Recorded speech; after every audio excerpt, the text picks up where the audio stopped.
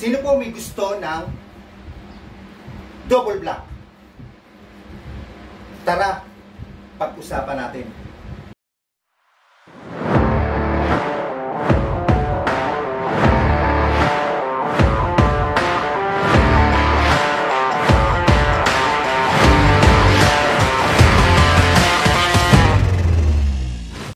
Good day po sa ating lahat. Ako po si Mr. Lance, ang inyo pong YouTube bartender. Today ho, ah, may pag-uusapan po tayo ng isang ah, ah, cocktail na paborito po nating mga Noipi. Ah, wala pong iba kundi Johnny Walker Double Black. Ito po ang pag-uusapan po natin ngayon. Bago po natin pag-usapan, ay ah, nagpapasalamat po ako sa mga nanonood, sa mga nagsusubscribe, at saka mga nag-share ng aking videos, at saka sa mga nagko-comment. Maraming salamat. At shout out ko lang po si Jack Jack ng uh, Grab Food ng Tiga, Concepcion, Marikina. Jack, salamat sa iyo ha. Okay. Ngayon po, ang pag-uusapan po natin, kagaya po na si, uh, binagyan ko earlier, ay Johnny Walker Double Black. Ano po ang timpla na gagawin po natin? Wala pong iba kundi ah, Double Black and Sprite. Paghahaluin po natin, yes, marami po sa ating mga Noipi, mahil po uminom ng Johnny Walker. So, nasa nakikita ko po as a, ah, as a bartender o ang yung YouTube bartender, mostly po ang iniinom ng mga Noipi na Johnny Walker ay puro po straight. Ah, di ba ho? Wala ho akong nakikita na umiinom po ng may mga hinahaluan nila. Di ba? Gumawa na ako ng ah, Johnny Walker water, Johnny Walker ah, soda. Di ba? Ngayon ho, gagawa naman po tayo ng Johnny Walker with Sprite. Dito ho, pag-uusapan po natin. Okay? Para ho mga Noipi, kapag meron tayong Johnny Walker, hindi puro isang klase lang ko ininom natin, puro on the rocks, straight, puro ganon, di ba? Okay, nood ho kayo na itong aking uh, content o aking mga vlogs, marami ho kayong matututunan. Okay, bago ho tayo pumunta sa ating titimplahin, pag-uusapan po muna natin ang uh, Johnny Walker. Okay, ano ho ba ang Johnny Walker? Okay, siyempre, bago ho tayo uminom, bago tayo tumira ng mga Johnny Walker, ng mga lahat ng klase, kung ano man ang stock nyo sa bahay, eh pag-uusapan po muna natin ang mga types of Johnny Walker. Okay? At kung saan nagmula, saan gawa, anong ori saan origin to. Okay? Ito po ang Johnny Walker. Okay? Johnny Walker, type po nito ay Scots Whiskey. Okay? okay?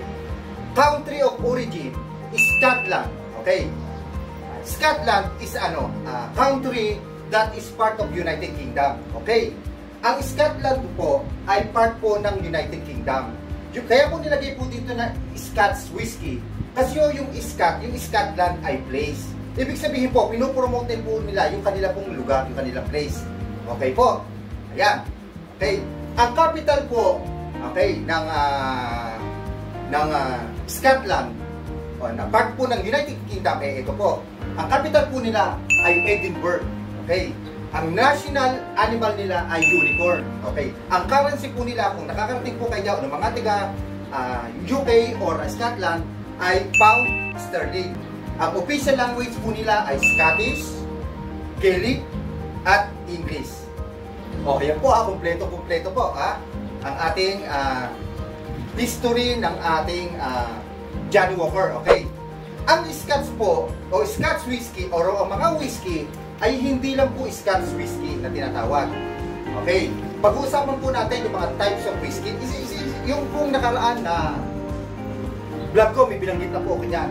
Mga types of whiskey. O ngayon, babagitin ko po ah, yung iba. Pero kung gusto niyo po yung mga ibang kabuuan, makita niyo po sa kabilang uh, content ko, sa kabilang vlog ko, note po kayo, nandun po yun, sa Mr. Lance, sa YouTube, sa aking channel. Ito po ang mga type of whiskey. Meron po tinatawag na Scotch whiskey, yung explain ko po kanina. Meron po tinatawag na American whiskey, meron po tinatawag na Canadian whiskey, meron po tinatawag na Japanese whiskey, at meron din pong Irish whiskey. O, yan po mga klase po ng whiskey, ano? Ang gawa po ang mga whiskey sa ano po, malted barley. Okay, yan. Noong 13th century po, gawa naman po ito sa wheat, sa rye. Okay. Uh, there are, noong 2020 po, uh, meron po 134 distillers promote in Scotland. Ganun po karami ang gumagawa po ng Scots. Ito po. Okay. Ang volume po ng, uh, o alcohol content po ng uh, whiskey ay 80% volume, 40% alcohol, at 40% liquid. O yan po. Kasi ang ang alak po, hindi po pure alcohol, may, may liquid pong naka- kasama po. Yun po, binanggit ko. Okay. Now, okay. Andito na po tayo sa inyong favorite part. Okay. Alam naman po natin ang ah, Johnny Walker ay marami pong klase, di ba ho? Marami. Okay. Ano-ano to? Ito po, babanggitin ko ha. Babanggitin ko po sa inyo ha. Kasi hindi na po nag-iisa ang double black, marami po ito. Okay? Ito po, babanggitin ko po ang types of Johnny Walker. Baka meron kayo sa bahay, pag-usapan po natin, i-comment nyo ko kung ano po magandang timpla, kung ano po ang ah, gusto nyong ah, cocktail na pwedeng itimpla, kung anong klaseng uh, Johnny Walker nasa inyo, pwede mo natin pag-usapan. PM nyo lang ako o comment nyo, pag-usapan mo natin. Types of Johnny Walker. Okay. Meron po tinatawag na Johnny Walker Red. Diba? Yung punay pula ho. Okay. Johnny Walker Black Label. Ito po yun. Johnny Walker ah, Gold Reserve. Meron po ako. Napakaliit. okay. Okay. Johnny Walker ah, na ordinary. Ito po yun. Johnny Walker po na paborito po ng karamihan lagi po nilang iniinom. Okay. Johnny Walker Blue Label. Johnny Walker Platinum Label. Double Black. Ito po yung Double Black. Okay. Johnny Walker Green Label. Johnny Walker uh, Blended Batch. Johnny Walker 8 Sans XR21. Johnny Walker Black Label Icon Edition.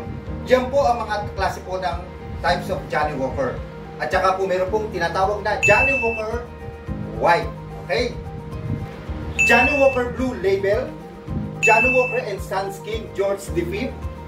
And Johnny Walker and Sons Odyssey. Okay? Alam niyo po, alam niyo po ba pinakamahal na Johnny Walker? Taas po ang kamay. Sino po may alam na may pinakamataas ng Johnny Walker? Ito po, sasabihin ko. Okay. Yung Johnny Walker, ah, Blue Label po, nagkakahalaga po siya dito po sa atin sa Pinas ng 30,000, 30K. Okay. Yung pong Johnny Walker and Sons King George V. Kasi po, pag di po si George V, ano ho yan eh, hari ho yan eh, kaya King, King di George V, panglima ho siya. Kasi ho yung mga alak, kahit po sa ba- bansa, sa mundo, doon yung pinapangalan sa mga hari kasi ho, yung mga alak ay napakatagal na po nito, di ba? Ayun. So, doon po pinapang, pinapangalan sa mga hari. O, kaya yung Johnny Walker and Sons, King George V, nagkakahalaga po siya ng 35,000. Yung Johnny Walker ah, and Sons Odyssey, nagkakahalaga po siya ng 80,000 pesos. Para po sa akin, baka yan na po ang pinakamahal. Yung Johnny Walker Sons Odyssey. 80,000 po halaga. Okay, ayan ha. Ano pati yung presyo, alam niyo na. Okay. So yung mga hindi ko binanggit na presyo kanina, medyo siyempre yun, medyo leles yung presyo, medyo mababa ko lang. Okay, okay. Okay. Ito po. There are 8 Johnny Walker Colliery, 4 uh, EX uh, ex, uh, 4 Explorers Club Collection, and 7 Johnny Walker uh, and Sons label. Okay? Okay. Ang Johnny Walker po, ang kumpanya po ng Johnny Walker, eh meron po silang related products. O ito po ah, baka meron po kayo. Baka meron po kayong related products. Ibig sabihin po, ah, yung klase po ng mga ng ah, mga whiskey na to, ah, Scotch whiskey, eh meron po kayo, no? Okay. Ito po ang mga related products po nila, okay? Valentines, baka meron kayo. Ah, Buchamans, meron kayo, mga Scotch whiskey ito ha. Related, binanggit ko po ha, related, ano po ito ha? Ah, related products po ng Johnny Walker. Chivas Regal, ito po Chivas Regal, napaka-popular po nito. Baka kung meron kayo sa bahay. Nyo ako, pag-usapin po natin. Tatisart, okay. Demars, at wala pong iba, last but not the least, Quad 69. Yan po ang mga related products ng Johnny Walker. Okay, one company lang po sila. Okay. Okay, napag-usapan na ho natin ang mga klase ng Johnny Walker. Ngayon ho, ang titimplahin ho natin, wala pong iba kundi double black and Sprite. Yan ho. Paghahaluin lang ho natin to, okay na siya. At lalagyan ho natin ng American Lemon, mas masarap, mas mainam po ang lasa. Okay? Bago tayo magtimpla, pag-usapan ho natin ang baso sa buko pa nilalagay. Ang baso na gagamitin ho natin, pe, tall glass ho. Basta sabi tall glass, matataas na baso. Pwede pong highball glass, polish glass, o yung mga sa tall glass. Okay, ito po pwede. Okay. Okay. Okay, mag-start na po tayo magtimpla. Ano po unang gagawin po natin dito sa highball glass, polish glass, o sa tall glass? Lalagyan po natin full of ice. Okay, lagyan natin yan. Okay, kita nyo, yan. Full of ice. Yan. Okay. Our first step to do, wala pong gauga kundi tayo mag-jigger. Okay? Mag, uh, susukat na ho tayo. Bago tayo umiinom sa bahay, lagi ko naman po binabagay sa aking mga vlog o vlog sa Ang sumusunod po tayo sa standard, yung pong mga pang-hotel. Kasi oh, ito po yung Mr. Las, galing po tayo sa isang 5-star hotel sa Nasby. So, susunod po tayo sa standard. Okay? Ang standard lang po na mostly pag kayo order ng uh, double black and Sprite sa mga hotel o sa mga restaurant o kahit sa mga 5-star hotel, 3-star hotel, kahit sa mostly po, sa akin po pagkakalam, ano po, based on my experience, based sa akin pong pagtatrabaho, ay 1 jigger lang po ang nilalagay o 1 ohms. Okay? Pero kung kayo iinom po sa bahay, gusto niyo medyo matapang, pwede niyo naman gawin dalawa, tatlo, kahit o apat, di ba? Pero siyempre, kung may Sprite naman ho, eh hindi niyo naman ho pupunuin na puro uh, double black ang uh, ang uh, inyong baso. Okay? Dahil natitimplahin mo natin yan, double black and Sprite. Okay? Kahit po anong klase ng whiskey nyo, pwede nyo po lagyan ng Sprite. Kahit po anong klase ng Johnny Walker nyo, pwede nyo po lagyan ng Sprite. Okay? At kung may tanong po, lagi ko po binabanggit. At dito si Mr. Lance, pwede nyo tanongin sa aking YouTube channel, magkomento kayo. Free, sasagutin ko kayo. Lahat po ng klase tungkol sa anak. O kaya ito sa drink of the month. Okay? Ngayon no, si Mr. Lance, mag-jijigar po tayo ng dalawang 2 ounce. Okay, dalawa. 2 ounces. Okay? Dalawa gawin natin ha. Okay.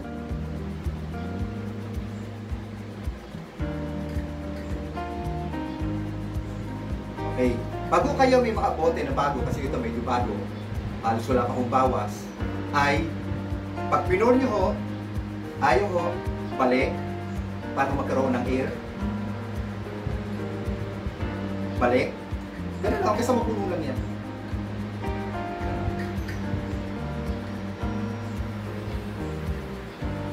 One.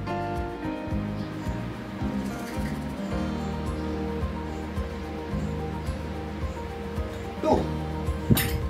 Napakasimple ho, di ba? Yan. Hey. Ito na po ang kanyang reson.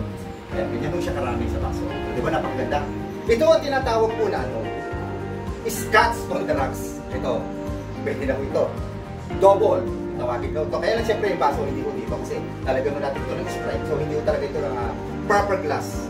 Okay? Ang proper glass mo niya ay yung rock glass na tinatawag. Ito, di ba? Nakita niyo sa aking uh, mga vlog siya. Okay? Ayun. Ano po susunod? Wala nang iba kundi ang ating Sprite. Yes, Sprite lang mo. Lalagyan natin. Okay? Lalagyan lang natin ng puno.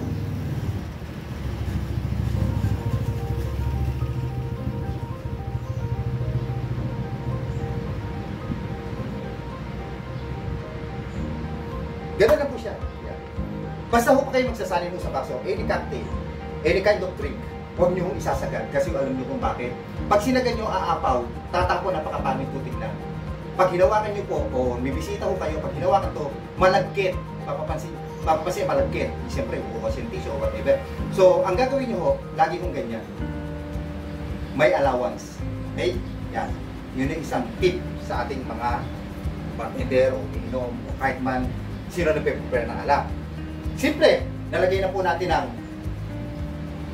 double black, ang Sprite, na paghalo na po natin sa highball glass na full of ice. Ang gagawin lang po natin dito, wala pong iba kundi i-stir lang po natin para magpantay yung Sprite and yung kanyang uh, alcohol. Okay? Napakasimple, di ba ho? Ngayon, this is the end part. Ano po ang end part natin? Maglalagay lang po tayo ng American lemon. American lemon po, ay napakarami naman po nito no, kahit po saan. Yan. Kakabilo kayo. Okay? Maghihiwa tayo ng ano, ah, bilog lang ho, tapos babagsak natin.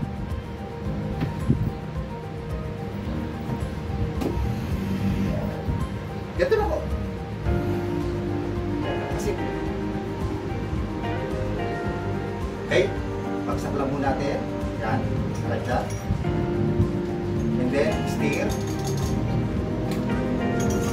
Maglalagay lang po tayo ng garnish.